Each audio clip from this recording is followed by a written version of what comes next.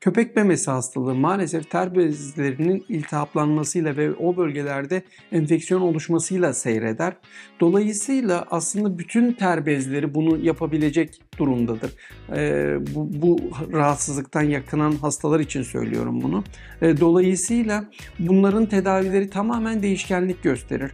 Eğer başlangıç safhasındaysa e, evet bunlar cildi hekimleri tarafından tedavi edilebilir, oluşumları e, geriletilebilir ya da antibiyotik tedavisiyle birkaç günde, 10-15 günde bu iyileştirilebilir.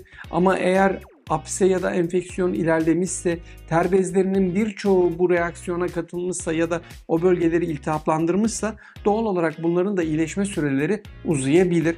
Sonuçta maalesef köpek memesi hastalığı Hidradenitis suppurativa kronik bir hastalıktır. Hiçbir zaman %100 tam geçti denilemez.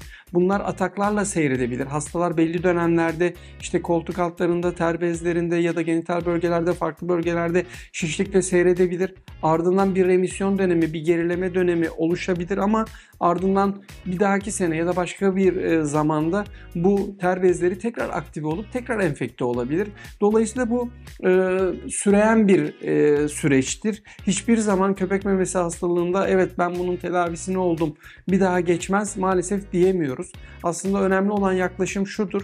Köpek memesi hastalığını tam olarak tedavi edebilmek, ardından da ilerlemesine engel olabilmek için de muhakkak destek alınmasıdır. Eğer bu şekilde hastalar davranırlarsa ya da bu şekilde takiplerine devam ederlerse bu rahatsızlık kontrol altına alınabilir.